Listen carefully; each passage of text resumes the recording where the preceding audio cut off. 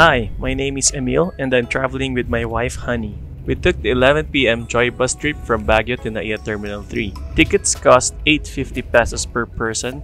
The trip was four and a half hours. We arrived around 3.30 in the morning and took a taxi to NAIA 4. The taxi fare was 150 pesos. Time check, it is now 4.05 a.m. and we just got here at NAIA Terminal 4. Good thing we arrived early because there's a lot of people traveling.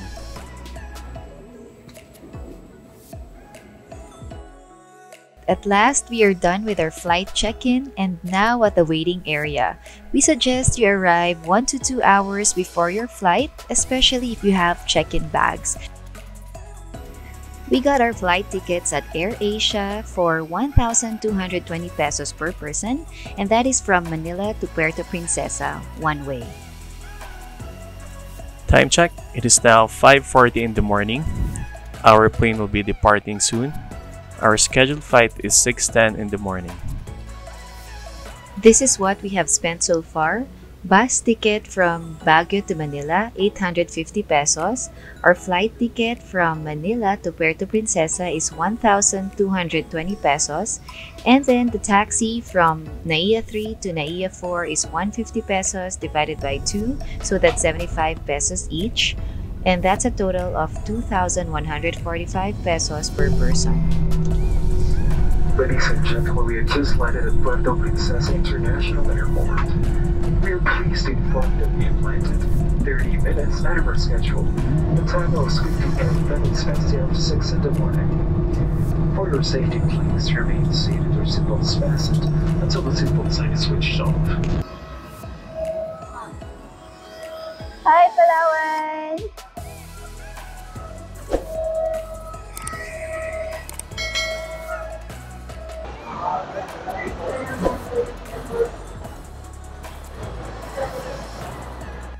So, we just went out the exit.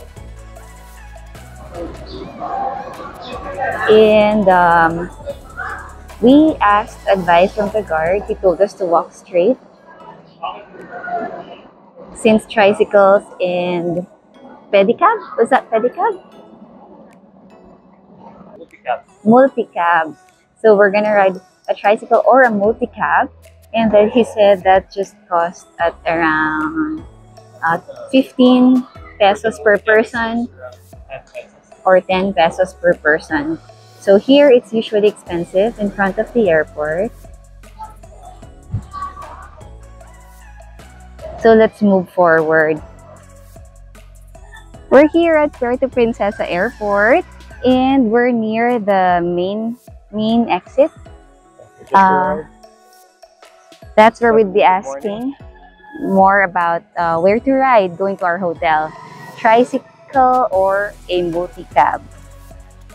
Oh, look what we found while walking and looking for a cab. Ouch. Yeah, let's go look for a cab because the first one we asked was 150 So we're gonna walk a bit further and uh, look for a cheaper option. Actually, naghahanap kami ng tricycle and pedicab. Ay, multicab. Buti na lang, may mababait pong dumaan. Hello, te. Anong name niyo, te? April po. April. Tsaka si, a- si ate. Nanette. Hello po, te. Sila na pong tumulong sa amin papunta po sa hotel. Thank you po.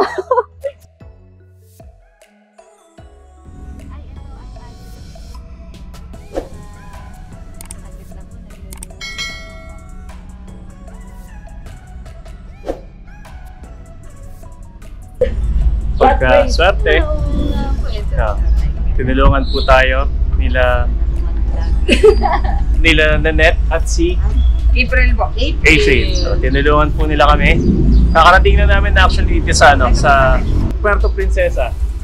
Ah, tapos, kanina, nahirapan kami kumuha ng ano, masasakyan na taxi, ah, sorry, taxi, multicab or tricycle.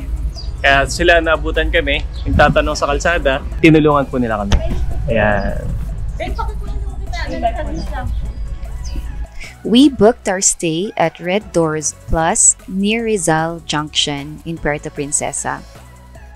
We arrived 7:50 a.m. However, our rooms are not yet available since check-in time is at 2 in the afternoon.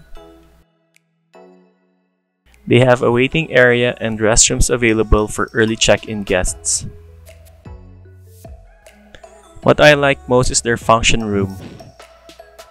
Here, you can relax, freshen up, or take a nap while waiting. To make the most of our time, we decided to leave our bags at the reception and head out for our first tour.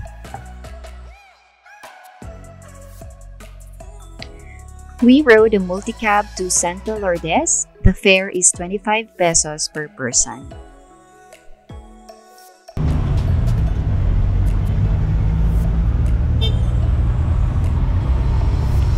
Estimated travel time is around 30 minutes coming from the downtown area.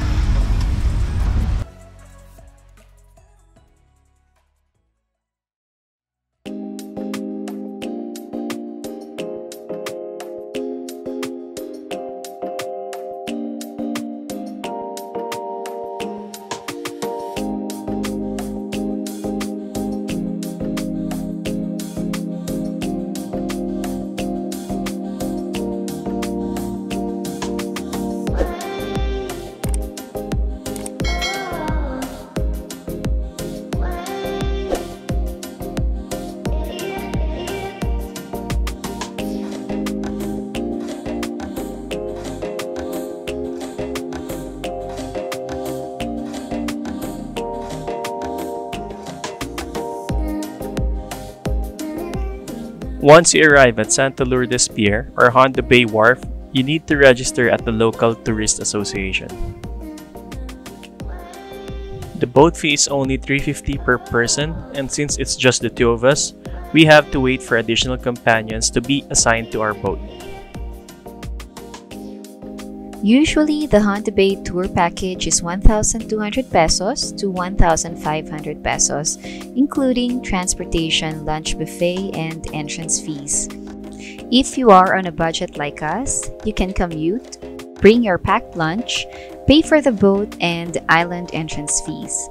This would be much cheaper. If you don't have gears like snorkel and goggles, you may rent them for 150 pesos at the registration.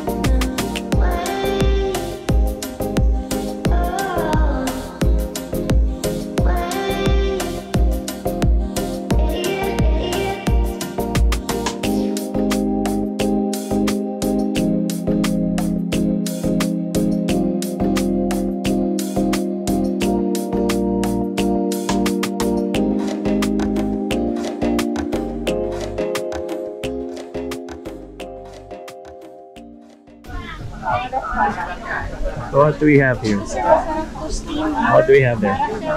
Um, we have some shell, 250, okay? The mussels. Then we have the red snapper. Red snapper. Magkano? 980. Oh, that's 980 for the red Yung snapper. ito, yung ano po, 450 yung tiger snapper. This is for 450. Tiger snapper. Ito yung talakitok jackfish, si Dory, si cuttlefish. Dory, cuttlefish. Wow, this is Magkano yung cuttlefish eh? 450 lang, sir. That's for With 450.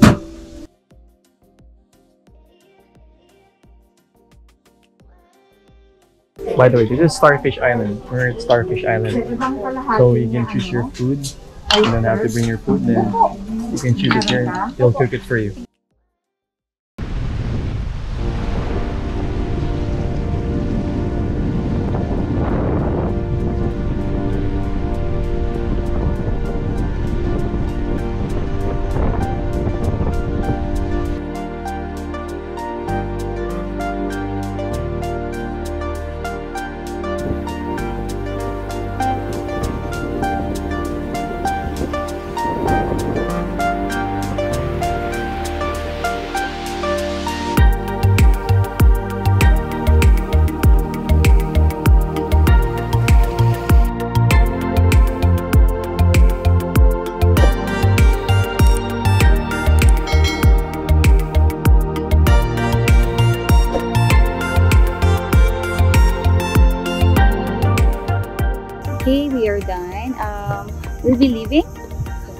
Over here. However, uh, for travelers here, you have to pay 100. Actually, it's 50 pesos per, head, per person. so 100 pesos.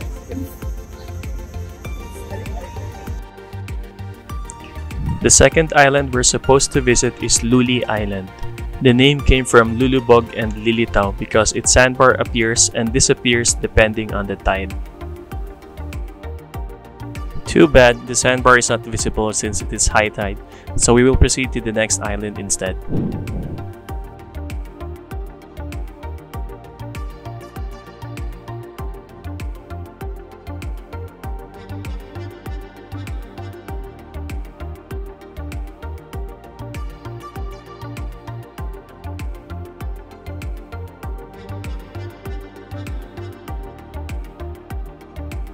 Last island on our list is Cowrie Island. There's a lifeguard station and henna tattoo area. You can rent kayaks and also there's lots of shade in this island from cottages and trees.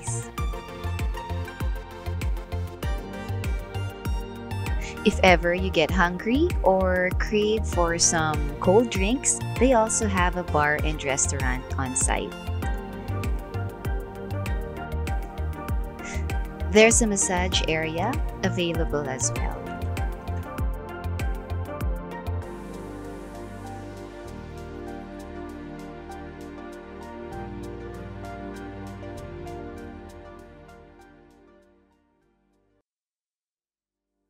They also have toilets and baths where you can shower after swimming.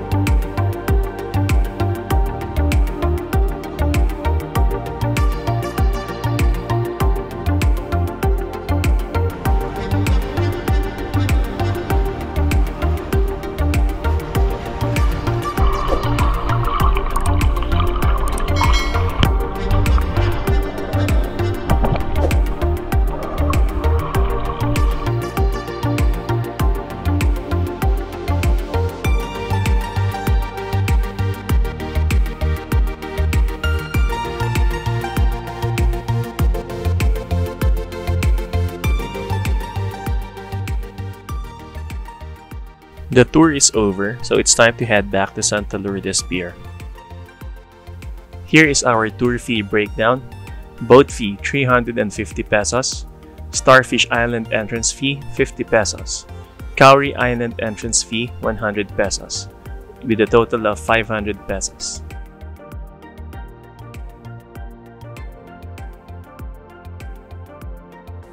The running cost per person so far is 2,145 pesos from the previous expense, which includes flight, bus, and taxi. Then we have the multicab expense, which is 25 pesos from the city center to Santa Lourdes Pier. Then our tour fee of 500 pesos. Lastly, our pack lunch amounting to 200 pesos, which brings our total to 2,845 pesos. While waiting for a multi-cab at the registration, we had a chat with the personnels and they explained that the boat owners created the association so they can all equally benefit from tourism. Previously, they had more than 100 boats, however, due to Typhoon Odette, a lot of these boats were damaged. They used the funds to fix the boat so there would be more available. This is a good idea for the boat owners to recover and help each other out.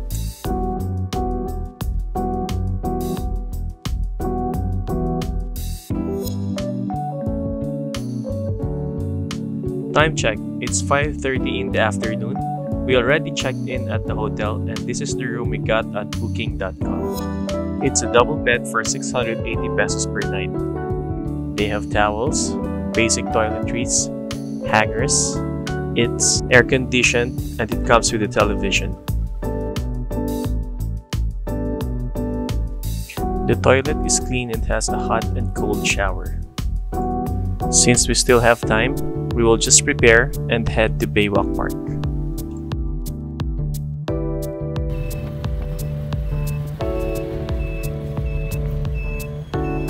The tricycle fare from our hotel going to Baywalk Park is 15 pesos each.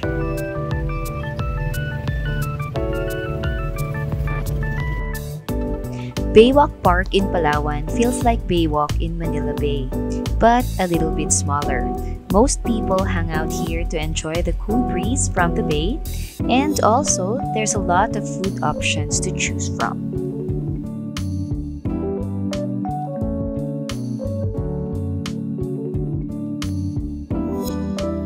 We decided to try out the food here at Kusina sa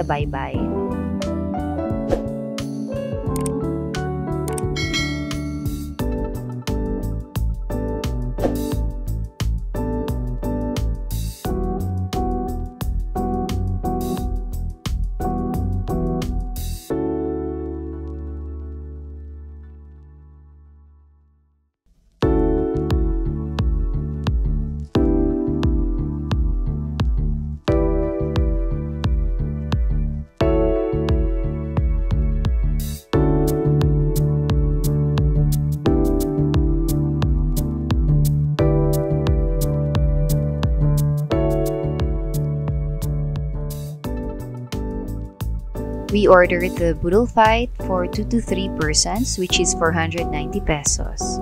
It includes half chicken inasal, mixed seafoods, rice, drinks, and free soup.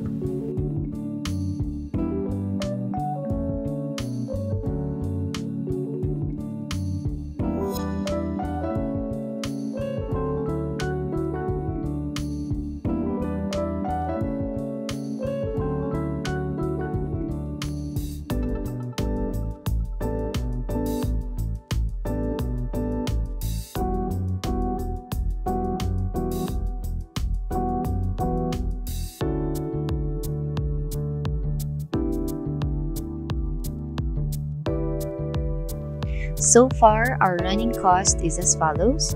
So we had a previous total of 2,845 for our flights and tour.